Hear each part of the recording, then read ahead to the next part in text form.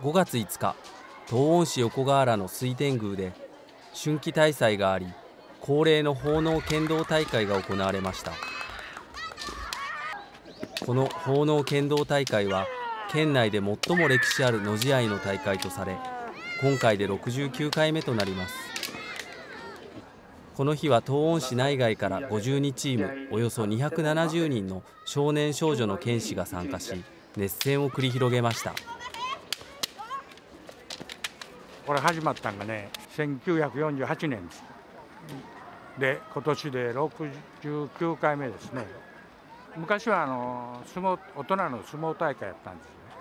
それが48年に、まあ、子ども中心の行事になってきたいうことですね。よかったな。やっぱりこうにぎわってますわね。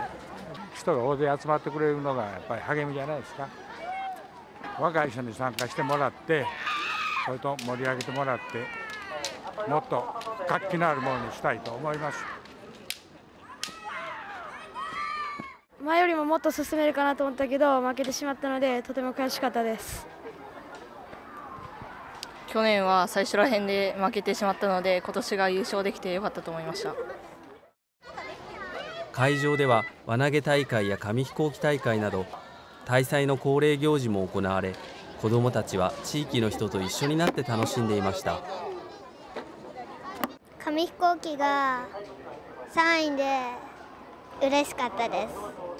輪投げで3位になれた。の1回目は、えっと、ちょっと点数が低かったけど最後の本番では点数が高かったのでよかったです。